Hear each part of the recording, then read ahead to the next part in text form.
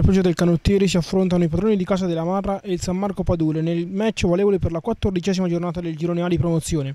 Giallorossi che cercano i tre punti per avvicinare la zona playoff, ospiti con l'intenzione di invece di restare tra le posizioni nobili della classifica. A dirigere l'incontro è il signor Curci della sezione di Perugia, coadiuvato dagli assistenti Neimi e Massini.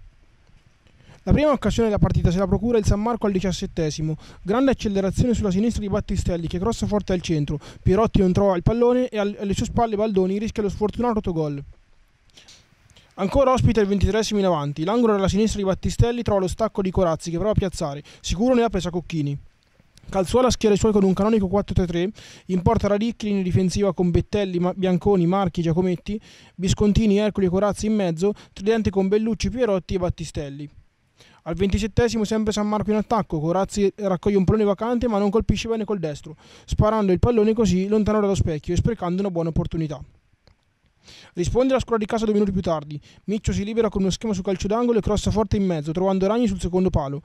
Il colpo di testa del difensore però non incorre la porta. Sul proseguo dell'azione successivamente la difesa ospite si salva. Marra invece è schierata in campo con un 4-3-3, Cocchini tra i pali, in difesa Baldoni, Ragni, Fuscagni, Velez, Macias, Miccio, Torriziani, Piccolo a centrocampo, Federici è il terminale offensivo con ai suoi lati Ardoni e Sorella. Al quarantesimo l'occasione più grande della prima frazione è sui piedi di Pierotti, che controlla e si gira. Risponde presente Cocchini, che si supera poi anche sulla successiva ribattuta, respingendo da pochi passi la conclusione di Bellucci, che però era comunque stato pescato in fuorigioco. Con le riprese e il montaggio di Leonardo Cesaroni passiamo alla ripresa. Pronti via dal primo, eh, la partita si sblocca. Il cross di Piccioli trova la deviazione aerea di Federici che spizza il pallone di quel tanto che basta per battere l'incolpevole Radicchi.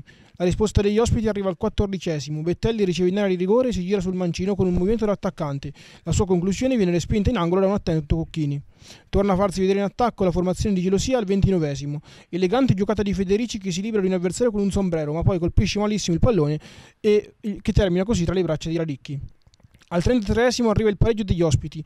Dopo che la difesa di casa libera un corner insidioso di Battistelli, la palla arriva al limite dell'area, dove Marchi si coordina al volo col sinistro e spedisce la palla all'angolino, realizzando un gol semplicemente fantastico.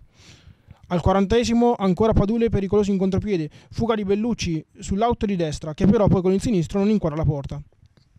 Al 45 arriva l'ultima occasione del match ed è clamorosa ed è per la Marra. Il subentrato Marco Sorella sul destro la palla del vantaggio, ma trova l'opposizione in stile portiere di hockey di Radicchi. Termina così in parità l'incontro. Marra Padule 1-1. Mister, partita molto equilibrata, un po' di rammarico per aver subito un Eurogol, però pareggio penso sia il risultato più giusto.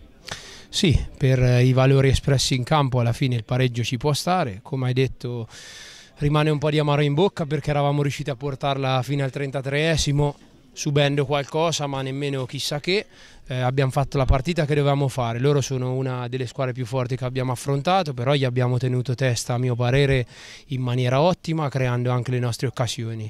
Eh, potevamo essere più cinici anche nel finale, sull'1-1 abbiamo avuto la palla per fare 2-1 ma ce l'hanno avuta anche loro, però salvo soprattutto la prestazione della squadra e l'atteggiamento che è stato veramente battagliero, ripeto, contro un'ottima squadra.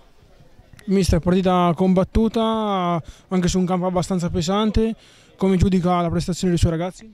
È stata al campo bellissimo, un forse un po' piccolino ma veramente eh, con tutta questa pioggia si è giocato veramente bene, un bellissimo fondo.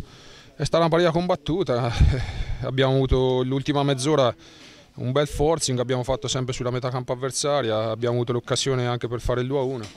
Poi alla fine in contropiede qualcosetta abbiamo rischiato, però noi facciamo sempre buone prestazioni, andiamo avanti per la nostra strada, il campionato è ancora lungo e oggi è un buon risultato.